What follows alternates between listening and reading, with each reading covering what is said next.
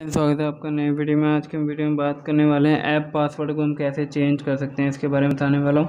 तो चलिए friends video को शुरू करते हैं। वीडियो को शुरू करने से पहले अगर आप चैनल पर नए हैं तो चैनल को सब्सक्राइब कर वीडियो को लाइक कर दीजिए। फ्रेंड जैसे कि आप देख सकते हैं, मेरे पास ये वीवो का फ़ोन है और आपको सबसे पहले क्या करना है सेटिंग पर क्लिक करना है। तो क्लिक कर लेंगे।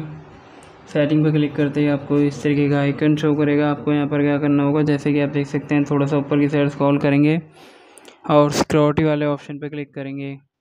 क्लिक करने के बाद आपको इस तरीके का आइकन शो करेगा। आपको यहाँ पर क्या करना होगा? जैसे कि आप देख सकते हैं, थोड़ा सा ऊपर की साइड स्क्रॉल करेंगे और प्राइवेसी वाले ऑप्शन पर क्लिक करेंगे। क्लिक करने के बाद जो भी आपका लॉक है, इसे ओपन कर देंगे। और इसको चेंज करने के लिए क्या करना होगा आपको? जैसे कि आप यहाँ से लगा सकते हैं। ये रहे सारे ऐप आपके।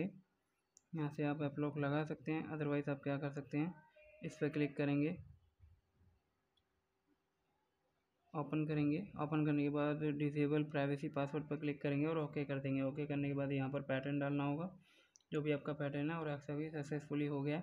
दोबारा क्लिक करेंगे। दोबारा क्लिक करने के बाद पासवर्ड पर क्लिक करेंगे। यहाँ से आप चेंज कर सकते हैं। जैसे कि आप देख सकते हैं फोर डिजिट पासवर्ड लगा लेता हूँ। वन टू थ्री फोर ये लगा दिया। दोबारा यही डालना होगा। ये देखिए। और आपका यहाँ पर नेम डालना होगा। जो भी आप नेम डालेंगे या कुछ भी आप डालेंगे तो उसको आपको याद रखना होगा ताकि फॉरगेट के टाइम पे वो काम आता है।